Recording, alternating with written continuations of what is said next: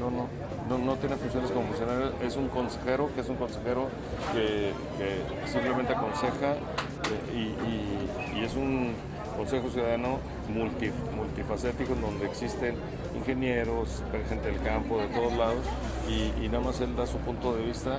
En los que toman la decisión es el ayuntamiento. ¿Pero en qué función No fue tiene- que lo, no que lo nombraron ningún- o- no tiene o no ningún- vieron otros perfiles más que él?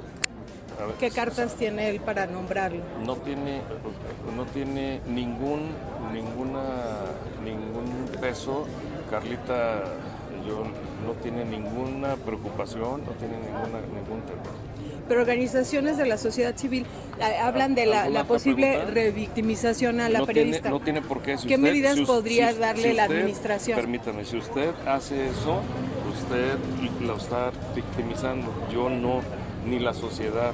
Eso fue un acto juzgado fue un acto muy lamentable hasta ahí.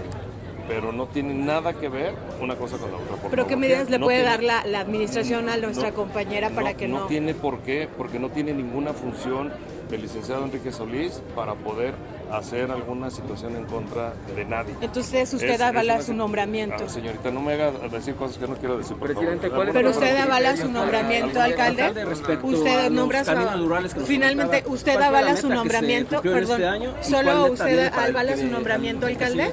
A ver, no te- que no te perdón, lo- nada más para concluir Señorita, el tema. yo ya concluí que mi tema. Si lo, si lo avala, Yo ya concluí ¿sí mi lo tema. avala? Yo ya concluí mi tema. ¿Usted lo avala el nombramiento concluí de mi este tema. consejero Presidente, se ciudadano? alcanzó con los caminos rurales que se cerraron este año y para el próximo, ¿cuál es la meta?